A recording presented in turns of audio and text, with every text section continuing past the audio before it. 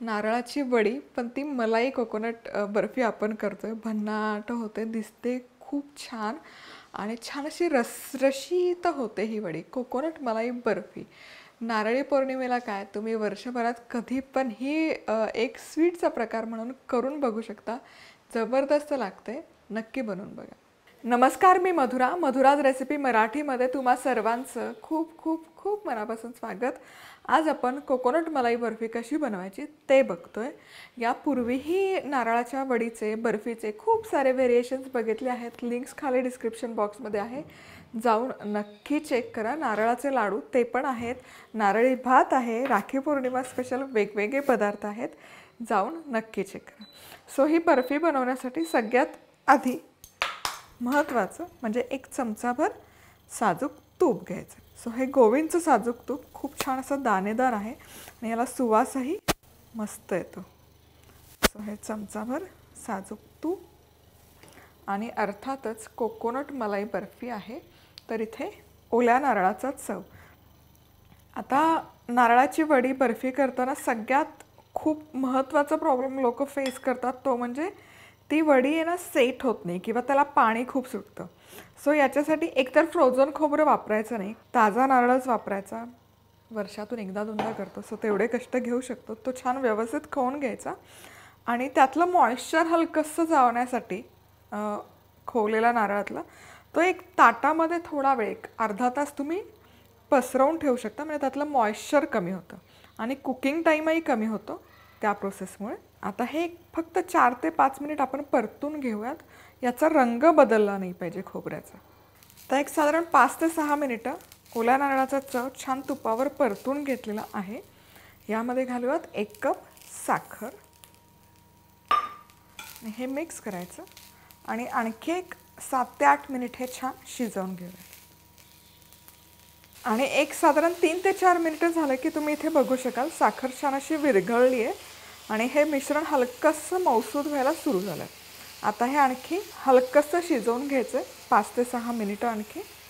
आता हे मिश्रण आपलं छान शिजवून होतं आहे तोवर काय करायचं? तोवर इथे पनीर आहे कोकोनट मलाई बर्फी आहे तर गोविंदचं मलाई पनीर मी इथे घेते आहे अतिशय सॉफ्ट टेक्स्चर असतं या पनीरला. तुम्ही बघू शकाल. एकदम मौसूद बनतं आहे. आणि हे पनीर लो इन फॅट आहे आणि हाय इन प्रोटीन आहे. सो आता हे फक्त आपण असं मॅशरने मॅश करून घेऊयात. किसून वगैरे घ्यायची गरज नाही. पटकन होतं कारण खूप सॉफ्ट आहे तुम्ही बघू शकाल. पटकन मॅश होऊन हे तयार होतं. खूप अशी काही मेहनत लागत नाही. आता हे पनीर छान मॅश करून झालेलं आहे. पटकन दोन ते तीन मिनटात होतं तुम्ही बघू शकाल. छान असं मौसूद टेक्स्चर आलेलं आहे याला. गोविंदसारख्या ट्रस्टेड ब्रँडचं हे पनीर आहे. हे तुम्ही ऑनलाईन ऑर्डर करू शकता किंवा मग त्यांचे आउटलेट्स पण आहेत पूर्ण महाराष्ट्रभर. आता हे जे मिश्रण आहे साखर आणि नारळाचं ओल्या नारळाचं हे छान असं शिजलं आहे तुम्ही बघू शकाल. रंग सुरेख आलेला आहे याला. आणि ड्राय पण पटकन झालं एक सात ते आठ मिनटात हे पटकन शिजून येतं. आता तुम्हाला जेव्हा नारळाची वडी करायची तेव्हा हे मिश्रण थापायचं. थंड करायचं आणि त्याच्या वड्या पडायच्या. पण आपल्याला करायची आहे कोकोनट मलाई बर्फी. सो हे जे मॅश केलेलं पनीर आहे हे पनीर यामध्ये घालूयात. मिक्स करायचं. आणि आणखी एक सहा ते सात मिनिटं एकत्र छान शिजवून घ्यायचं. म्हणजे पनीर छान एकजीव होऊन जाईल या मिश्रणामध्ये.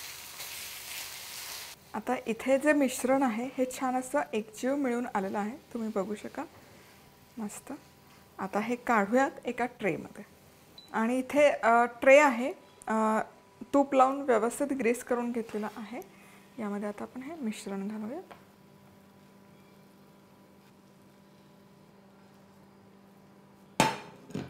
आणि हे छान असं थापून घ्यायचं मिश्रण. याच्या वड्या छान होतात.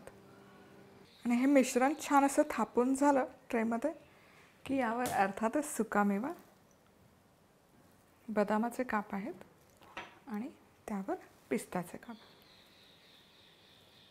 आणि हे सुकामेवा पण छान असं प्रेस करून घ्यायचा. म्हणजे नंतर जेव्हा आपण वडी पाडतो ना तेव्हा तो सुटत नाही वडीपासून. आणि आता ही पूर्ण थंड होईपर्यंत रूम टेम्परेचरवरच ठेवायची. रूम टेम्परेचरवरच कधी पण से बर्फी आहे ना कुठली सेट करून घ्यायची. म्हणजे ते छान सेट होते. आणि त्याचं टेक्स्चर वगैरे अजिबात बदलत नाही. त्यामुळे एक दोन तीन तास जातात हे सेट व्हायला पण रूम टेम्परेचरवरच करायचं. आता ही बर्फी एक साधारण एक ते दीड तास मी रूम टेम्परेचरवर सेट करायला ठेवली होती आणि छान सेट झालेली आहे. सो आता आपण याचे पीसेस करून घेऊयात.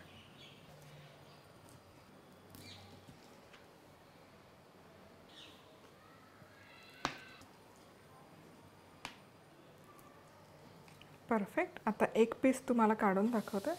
मस्त. तुम्ही बघू शकाल. छान झाली आहे ही बर्फी. छान सेट झाली आहे. आणि याचं ज्युसी टेक्स्चर हवं. तसं परफेक्ट आहे. तर ही कोकोनट मलाई बर्फी रूम टेम्परेचरवर हवाबंद डब्यामध्ये साधारणपणे दोन ते तीन दिवस छान टिकते. फ्रीजमध्ये ठेवली तर आठवडाभर व्यवस्थित राहते. रेसिपी आवडली? तर यूट्यूबवर मधुराज रेसिपी मराठीला नक्की सबस्क्राईब करा. पुन्हा भेटूयात अशाच मस्त रेसिपीसोबत तोवर मस्त राहा खुश राहा आनंदी राहा आणि सगळ्यात महत्त्वाचं खात राहा.